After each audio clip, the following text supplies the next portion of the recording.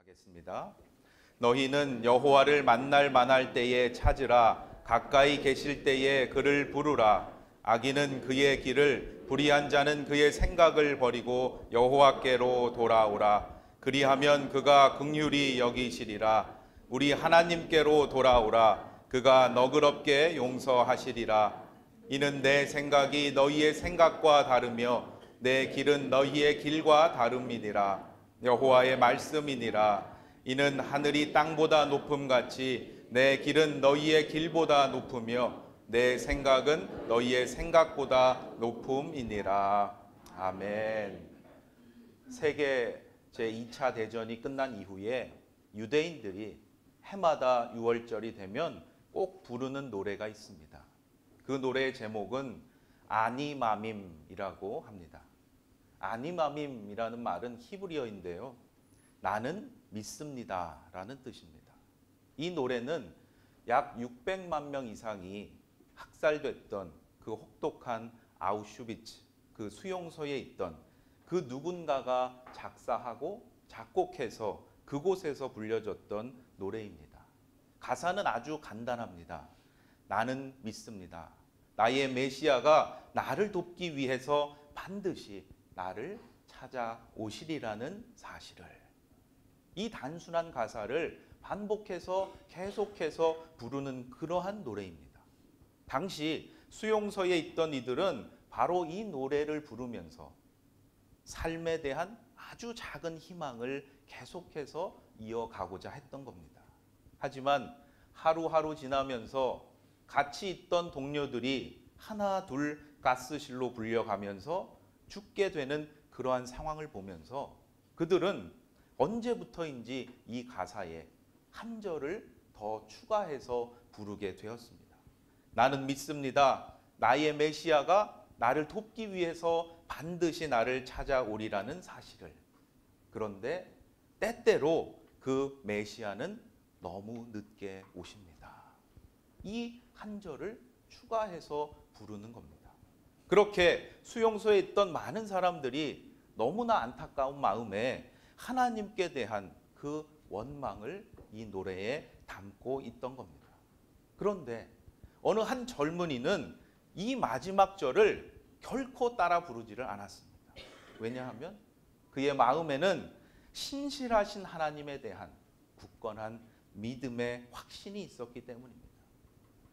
그의 믿음은 바로 시편 139편에 근거해 있었습니다. 내가 하늘에 올라갈지라도 거기 계시며 수월에 내 자리를 펼지라도 거기 계시나이다. 내가 새벽 날개를 치며 바다 끝에 가서 거주할지라도 거기서도 주의 손이 나를 인도하시며 주의 오른손이 나를 붙드시리이다.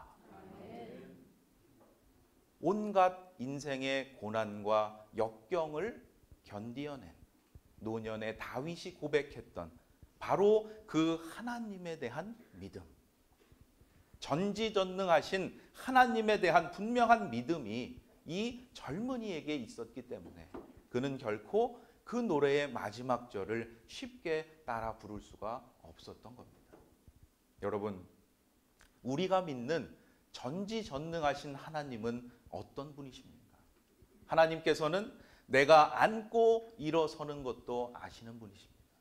멀리서도 내가 무엇을 생각하고 있는지 너무나 훤히 알고 계시는 분이십니다. 나의 모든 길과 내가 눕는 것까지도 알고 계신다 하셨습니다. 나의 모든 행위를 익히 알고 계시는 분이 바로 우리 하나님이십니다. 그러하기에 나의 모든 것을 알고 계시는 하나님, 그분 앞에 우리는 아무것도 감출 것이 없습니다. 오늘 내 모습 그대로 내 삶에 있는 그 문제와 아픔까지도 끝까지 감사함으로 하나님께 아뢰는 여러분들이 되시기를 주님의 이름으로 축원합니다. 긍휼하신 우리 하나님께서 그 모든 문제를 해결해 주실 것입니다. 나의 슬픔이 변해서 기쁨의 찬양이 되게 해 주실 줄로 믿습니다. 바로 그 믿음, 그 믿음의 확신이 있기 때문에 오늘도 이 아침에 주의 전에 나와 온 줄로 믿습니다. 아니마밈이 무슨 뜻이라고 말씀드렸죠? 나는 믿습니다.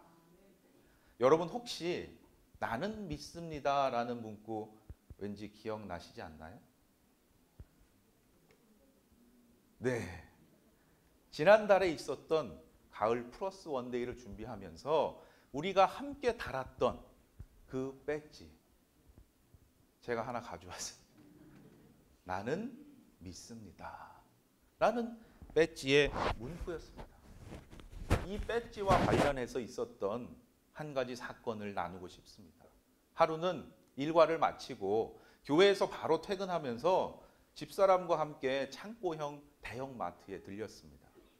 마트 주차장에 차를 대고 이제 막 내리려고 하는데 옆자리에 있던 집사람이 여보 잠깐만요. 저를 쳐다보더니 그 배지를 놓고 가는 게 안 좋겠어요? 아차. 아, 내가 이 배지를 달고 있었지. 깜빡 잊고 있었는데 그 말을 듣는 순간 저도 모르게 잠깐 멈칫하게 되더라고요. 빼놓고 갈까? 들어가면 사람들이 많을 텐데. 차라리 배지를 달고 있다는 걸 모르고 들어갔으면 괜찮을 텐데 사람들이 쳐다볼 걸 생각하니까 솔직히 잠시 고민이 되더라고요. 여러분은 당당하게 달고 다니셨죠? 네, 아멘. 그런데 그 순간 저도 모르게 용기가 나더라고요. 아니 여보, 교인들에게는 달고 다니라고 그렇게 말했는데 내가 안 달고 다니면 되겠어요? 그렇게 큰 소리를 치고 마트 안으로 들어갔습니다. 오기로 그랬던 것 같아요. 그런데 유심히 보니까 진짜 사람들이 지나가면서 어, 이 배지가 뭔가 하고 이렇게 슬쩍슬쩍 쳐다보는 게 느껴지는 거예요. 그때부터 시선이 의식이 되기 시작했습니다. 저는 그날 사고자 했던 물건들을 제대로 사질 못했어요. 뭐 사야지, 뭐 사야지 다 생각하고 왔는데 그 시선이 신경이 쓰여서 장을 제대로 못 봤습니다. 그리고는 아, 괜히 달고 왔다. 그냥 차에다 놓고 올 걸 이렇게 후회하는 마음으로 아, 빨리 집에 가야 되겠다. 그리고 계산대로 갔습니다. 그렇게 계산대에 서 있는데 이번에는 계산하시는 여자분이 물건을 계산하면서 저를 대놓고 쳐다보는 거예요. 배지 한번 보고 제 얼굴 한번 보고 물건 한번 찍고 저 한번 보고 그래 실컷 봐라. 이제 완전히 포기했어요. 이렇게 생각하고 있는데 이분이 뜻밖의 말을 하는 겁니다. 아니 어떻게 그런 걸 달고 다니세요? 그것도 남자분이 참 쉽지 않으실 텐데 대단하십니다. 아, 예. 전혀 예상 밖이라 제가 놀라서 말이 잘 안 나오더라고요. 제가 목사입니다. 차마 이렇게는 말을 못 하고요. 저희 교회에서 이번에 진행하고 있는 캠페인 배지입니다. 이렇게 설명을 했어요. 그랬더니 이분이 아, 참 그 배지가 너무 예쁘네요. 저도 하나 있으면 갖고 싶습니다. 그러는 겁니다. 그래서 잘 됐다. 기쁜 마음에 바로 그 자리에서 떼어서 드렸습니다. 그랬더니 이분이 감사합니다. 저도 계속 이 배지를 달고 근무하겠습니다. 그렇게 그 마트를 빠져나오는데 제 마음에 뿌듯함이 들면서도 마음 한편에 참 부끄러운 마음이 들었습니다. 아, 그렇게 불평하지 말 걸. 조금만 더 끝까지 감사할 걸. 여러분, 끝까지 감사하실 수 있기를 바랍니다. 추수감사 주일이 끝났다고 우리의 감사가 메마르지 않기를 바랍니다. 끝까지 감사함으로 하나님을 기쁘시게 하는 여러분이 다 되시기를 주님의 이름으로 축원합니다. 오늘 성경 이사야 55장 8절로 9절의 말씀입니다. 이는 내 생각이 너희의 생각과 다르며 내 길은 너희의 길과 다름이니라. 여호와의 말씀이니라. 이는 하늘이 땅보다 높음 같이 내 길은 너희의 길보다 높으며 내 생각은 너희의 생각보다 높음이니라. 이 말씀을 통해서 우리가 끝까지 감사의 삶을 살아가려면 어떻게 해야 되는지를 깨닫게 됩니다. 하나님의 생각, 하나님의 길은 내가 생각하는 것, 내가 가고자 하는 그 길보다 훨씬 더 높다는 것. 그것을 늘 잊지 말아야 한다는 것. 여러분 혹시 하나님을 그저 내 수준에서 판단하고 있지는 않으십니까? 내 기준에서 판단해서 그것에 따라서 하나님을 원망하고 있지는 않으십니까? 오늘 말씀을 통해서 우리의 삶을 다시금 돌아볼 수 있기를 소망합니다. 내가 하나님을 내 기준으로 잘못 판단했구나. 깨달으신다면 성령의 인도하심을 따라서 하나님을 향한 바른 길로 나오실 줄로 믿습니다. 우리 하나님께서는 그러한 저와 여러분을 긍휼히 여겨 주신다 약속하셨습니다. 너희는 여호와를 만날 만할 때에 찾으라. 가까이 계실 때에 그를 부르라. 악인은 그의 길을 불의한 자는 그의 생각을 버리고 여호와께로 돌아오라. 그리하면 그가 긍휼히 여기시리라. 우리 하나님께로 돌아오라. 그가 너그럽게 용서하시리라. 하나님을 원망하는 그 아니마밈의 마지막 절을 끝내 부르지 않았던 그 청년. 그는 비록 자신이 다 이해할 수는 없지만 자신의 삶 속에 하나님의 선하신 뜻이 분명히 있다고 믿었던 겁니다. 그래서 그는 그 수용소에 갇혀서 죽을 수밖에 없고 언제 가스실로 향하게 될지 모르는 그러한 상황 가운데서도 그에게 주어진 하루하루의 삶을 스스로 포기하지 않았던 겁니다. 그는 자신의 지저분한 외모를 다듬기 시작했습니다. 다른 동료들은 그저 어쩔 수 없는 그 상황을 체념하고 포기했었습니다. 그런데 그 청년은 모두가 잠든 그 밤에 홀로 일어나서 어느 날 우연히 줍게 된 유리 파편 조각 하나를 가지고 날카롭게 갈아서 그의 지저분한 털을 열심히 정리하고 면도를 한 겁니다. 아침이 되면 죽음의 사자처럼 나치 군인들이 그들의 방을 찾아옵니다. 그런데 군인들은 수염 하나 없이 깨끗한 이 청년의 모습을 볼 때마다 차마 그를 죽음의 가스실로 데려가지 못하고 매번 다른 사람을 데리고 갔던 겁니다. 그렇게 날이 지나서 마침내 전쟁이 끝났습니다. 그 청년은 작은 수의 생존자들 중에 한 사람이 되었습니다. 수용소의 문을 빠져나오면서 그는 아니마밈의 노래를 이렇게 고쳐 불렀습니다. 나는 믿습니다. 나의 메시아가 나를 돕기 위해 반드시 나를 찾아오시리라는 사실을. 그런데 사람들은 너무 서두른다. 사람들은 너무 서둘러 믿음을 포기한다. 우리의 기도가 때로 응답되지 않았다고 생각할 때, 또는 우리의 삶이 뭔가에 꽉 막혀 있다고 느낄 때, 우리는 우리의 기준으로 너무 쉽게 하나님을 원망하고 불평합니다. 그리고 하나님의 그 신실하신 약속마저도 의심합니다. 하나님이 나를 버리셨어. 하나님은 나의 소원을 들어주시지 않아. 나에게 신경 쓰시지 않아. 쉽게 서둘러 결론을 내려 버립니다.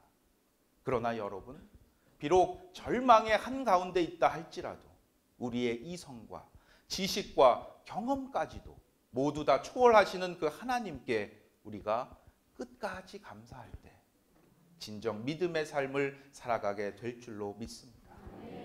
끝까지 이 믿음을 포기하지 않았던 이 유대인 청년처럼 우리는 이렇게 고백해야 할 줄로 믿습니다. 아닙니다. 그분이 늦게 오시는 것이 아니라 내가 너무 서두르고 있을 따름입니다. 이제 우리는 다음 주일이면 이 땅에 예수님이 오심을 기다리는 강림의 절기를 맞이하게 됩니다. 지금 감사의 절기를 지내고 있는데 이 감사의 절기가 이제 강림의 절기로 이어진다라는 것에는 참 중요한 의미가 있습니다. 진정으로 하나님께 감사하는 자에게 우리 하나님께서 예수 그리스도를 보내 주신다라는 겁니다. 이러한 감사의 놀라운 축복이 여러분에게 임하시기를 축원합니다. 우리 하나님께서는 감사하는 자에게 더 큰 은혜를 베풀어 주시는 분이다. 늘 이것을 기억하시고 끝까지 감사의 삶을 살아가시기를 바랍니다. 저는 지난 6월에 손을 다쳤던 일이 있었습니다. 아침에 교회 출근하는 길이었는데요. 사무실에서 사용할 짐을 양손 가득히 들고 오다가 밑에를 잘 못 보고 그만 교회 앞 횡단보도를 건너와서 인도의 턱에 걸려가지고 넘어졌습니다. 넘어지면서 제 손에 든 짐을 놓치지 않으려고 하다가 그만 이 손가락과 손바닥 사이 부분을 쇠 채꽂이 같은 것에 팍 찔렸습니다. 일어나 보니까 손에서 피가 막 줄줄줄 나는 거예요. 그래서 일단 손수건으로 꽉 누르고 부랴부랴 옆에 계시던 신방사님의 차를 얻어 타고 응급실로 갔습니다. 놀란 마음으로 손을 움켜잡고 그렇게 응급실로 들어가는데요. 모든 응급실 의료진이 저를 막 반기는 거예요. 마치 저를 위에서 모두가 대기하고 있던 사람들처럼 제가 들어가니까 고급 음식점에서 아 손님 어서 오십시오 라고 하는 그러한 분위기로 저를 맞아 주더라고요. 의료진이 저를 보더니 인사를 하고 딱딱 자기 위치로 가서 바로 진료를 막 해주는 겁니다. 제가 많이 놀라고 겁이 났는데 정말 감사하더라고요. 저는 교회에서 제가 간다고 미리 연락을 해준 줄 알았어요. 근데 아니더라고요. 그런데 지혈을 하고 나서 이제 좀 마음을 진정을 시키고 병 응급실을 둘러보니까 그 큰 응급실에 정말 아주 깨끗하게 잘 정돈되어 있는 그 응급실에 환자가 저밖에 없는 거예요. 아무도 없어요. 한 사람도 없어요. 왜 그랬을까요? 메르스 때문이었습니다. 사람들이 병원을 꺼리고 아파도 응급실에 가지도 않던 바로 그때였습니다. 그걸 깨닫고 보니까 솔직히 그때부터 겁이 좀 나더라고요. 그래서 간호사한테 조용히 얘기했습니다. 정말 사람이 없네요. 걱정스러운 표정이 보였는지 걱정 마세요. 저희 병원이 오늘 아침에 메르스 안심병원으로 지정되었습니다. 그리고 저를 안심시키는 거예요. 어쨌든 참 감사했습니다. 그러는 사이에 검진 결과가 나왔습니다. 다친 상처가 너무 깊어서 아무래도 신경이 손상된 것 같으니까 절개 수술을 해서 제대로 검사를 해봐야 신경에 문제가 없는지를 알 수 있다는 겁니다. 그런데 일단 절개 수술을 하면 2주 이상을 꼼짝없이 병원에 입원해 있어야 된다는 거예요. 눈앞이 캄캄하더라고요. 그냥 한 번 넘어진 것 뿐인데 그것도 교회 오다가 넘어진 건데 수술을 하고 2주 이상을 꼬박 그렇게 입원해 있어야 한다니 그때가 제가 6개월간 사역을 쉬고 다시 사역에 복귀한 지 딱 한 주가 되던 날이었어요. 그런데 어떻게 어쩔 수 없이 입원 수속을 했습니다. 빨리 수술을 해야 된대요 이게 뭐가 감염이 되면 큰일이 납니다. 그래서 바로 그날 오후로 수술 날짜까지 수술 시간까지 잡혔습니다. 이제 몇 시간 있으면 수술대에 올라서 생각지도 않은 수술을 받아야 할 처지에 있습니다. 그렇게 병실에 앉아서 이 상황을 생각해 보면서 있는데 제 마음에 하나님께 대한 원망의 마음이 막 생기는 거예요. 아니 하나님 어떻게 이러실 수가 있습니까?